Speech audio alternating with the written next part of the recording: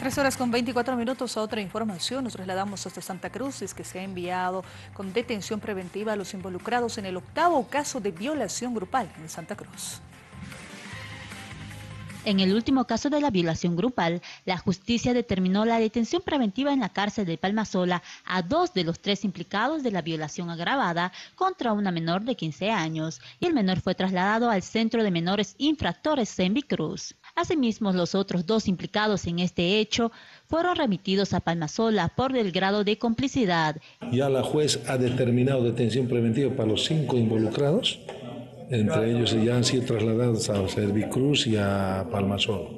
Este caso ya está eh, esclarecido. Bueno, en este caso, eh, ella eh, depende, en esto, todo caso de menor, es la Defensoría que se encarga de hacer la evaluación, y el tratamiento tanto físico y psicológico a todas las víctimas. Entonces ellos deciden ya eh, qué camino va a seguir. Eso ya, ya sale de, nuestra, eh, de nuestro control, de nuestra responsabilidad y por seguridad de la menor ellos eh, mantienen la reserva. ¿no? y la menor de 15 años recibe tratamientos psicológicos y los padres de la víctima serán citados a declarar por el grado de responsabilidad con su hija al ser menor de edad. Estamos procediendo a aprender y arrestar a aquellos que son del entorno familiar donde como consecuencia hay menores.